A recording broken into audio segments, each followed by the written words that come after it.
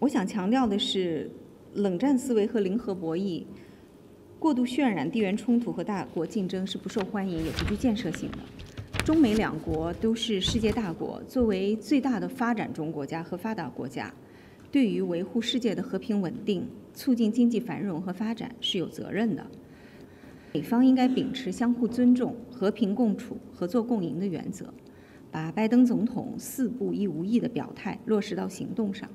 与中方相向而行，推动中美关系重回健康稳定的发展轨道。